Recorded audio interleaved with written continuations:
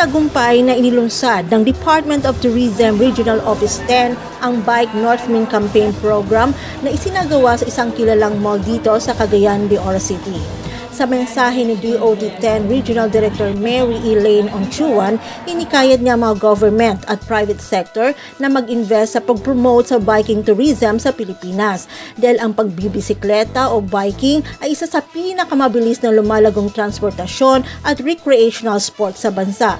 Maliban na ito ay eco-friendly at nagpo-promote ng healthy lifestyle. Sa isinagawang programa, ibinahagi din niya ang pagbuo ng mga hakbangin para sa bike tourism at ang pilot bike tour circuit sa Northern Mindanao.